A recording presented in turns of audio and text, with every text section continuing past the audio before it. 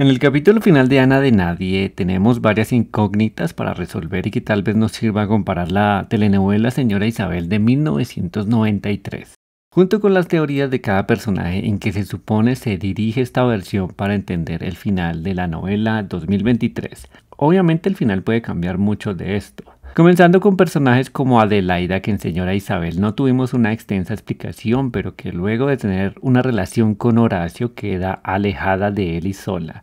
Y en esta versión Adelaide queda con su bebé junto a Lorenzo. En el caso de Magdalena, que en la anterior versión se llamaba Marina, ella en el 93 queda alejada y un poco rabiosa de lo que pasó con él. Y a donde apunta esta versión veríamos lo mismo porque Joaquín está por descubrir el plan de Magdalena Así que con el personaje de Francisco, la expareja de Magdalena, este terminaría en la cárcel por delitos en Panamá. Y yo creo que con Magdalena regresando con él al salir de la cárcel. Y Teo en contra de eso, también dejándola sola al crecer y cumplir 18 años. Y con eso tendríamos el final de los tres. En el caso de Florencia, que su personaje en el 93 se llamaba Juliana, es muy cándida y para nada se parece a esta versión. Además, con la tecnología siendo la base de ella en el 2023, pues como no tuvo tanta explicación en la versión anterior, todo apunta a que Kike y Florencia quedan alejados completamente y Kike cumpliendo una condena de muchos años. Además con Katy siendo amigas con Florencia tal y como lo hacen Violeta y Ana. Horacio le ayuda a Florencia a completar su colegio y allí está el final de los tres. Que se supone es así.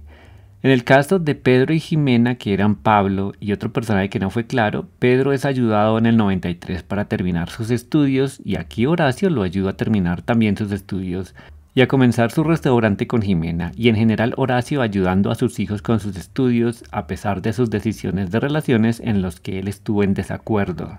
De otro lado ya habíamos visto el final de Violeta en que terminaría afectada por una enfermedad, pero en esta versión todo cambiaría cuando ahora su final sería positivo, también siendo una gran amiga de Ana y con Luciano, porque ya la hemos visto en las últimas escenas en que podría ser ese su final. En el caso de Doña Dolores, que es Emma en el 93, queda viva interpretada por Teresa Gutiérrez y siempre despreció a Joaquín, quien tiene una característica que no se mencionó en esta versión y es que él es daltónico y Teo, su hijo, que se llamaba Miguelito, le coloca anotaciones a su ropa para que no se confunda. Pero con Doña Dolores en esta versión, cambiándole el corazón a Joaquín, haciéndolo dudar de pasar el resto de su vida con Ana.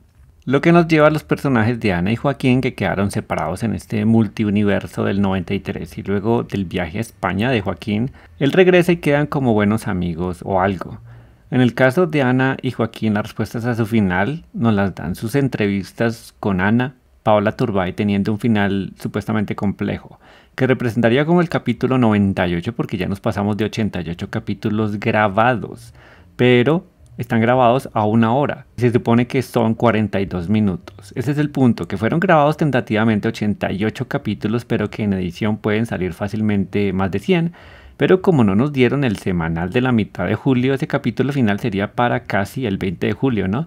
Con tres finales diferentes que yo espero hayan grabado para que no se filtre nada. Así que, ¿cuáles son esos tres finales? Uno en el que Ana queda sola que sería como la novela El amor invencible en que ella escogió a sus hijos y su independencia. Ahí la gente estuvo en desacuerdo en México porque querían su chip o como le llamen a eso.